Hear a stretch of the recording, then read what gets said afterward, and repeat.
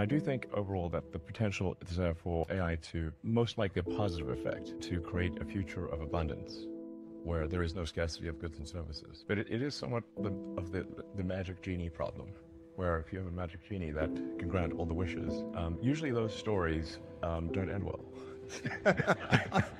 I do think there is a, there is a, a safety concern, especially with humanoid robots, because uh, you know, at least the, the car can't uh, chase you into this building. You can run up a flight of stairs and get away from a Tesla. So I, I think we should have some kind of um, hardwired local cutoff um, that you that you can't update from the internet. It's some kind of localized safe state ability, an off switch where you don't have to get too close to the robot. You're, you're not selling it, just you know, like that.